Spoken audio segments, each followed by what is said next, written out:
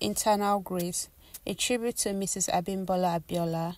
In the hallowed halls of history, amidst whispers of legacy and echoes of greatness, there lies a moment frozen in time, a moment where art meets reverence, where history and creativity intertwine. This is not merely a drawing, it's a journey, a tribute to a remarkable woman whose grace transcended time and space. As I delved into the depths of charcoal pencil drawing, I seek to capture the essence of her spirit, to immortalize her presence within these walls.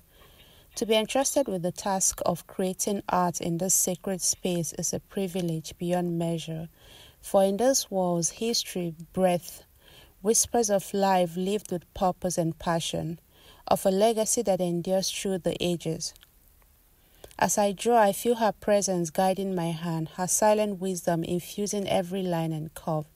In this act of creation, I pay homage to her memory, to the strength and resilience that defined her journey.